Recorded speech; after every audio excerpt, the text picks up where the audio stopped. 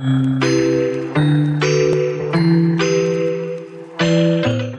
to add money to your Venmo balance.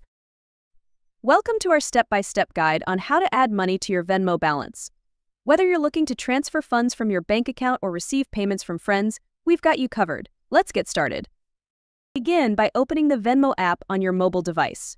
If you don't have the app installed, you can download it from the App Store for iOS devices or the Google Play Store for Android devices. In the app, tap on the menu icon located in the upper left corner of the screen. This will open the main menu where you can access various options. From the menu, select the Manage Balance option.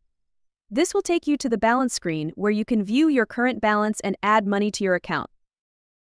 On the balance screen, tap on the Add Money button. This will initiate the process of adding funds to your Venmo balance. Next, choose the funding source from which you'd like to add money you can select from your linked bank account, debit card, credit card, or other available options. Enter the amount of money you wish to add to your Venmo balance. Double-check the entered amount to ensure accuracy. Review the transaction details and confirm the transfer.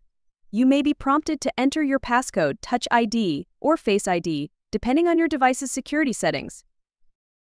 Once the transaction is confirmed, you'll receive a payment confirmation indicating that the funds have been successfully added to your Venmo balance. And there you have it. You've successfully added money to your Venmo balance.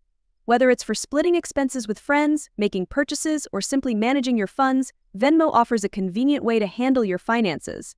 Stay tuned for more tips and tutorials on making the most of your Venmo experience. Don't forget to like, share, and subscribe for more insightful content. Until next time, stay blissful, stay healthy.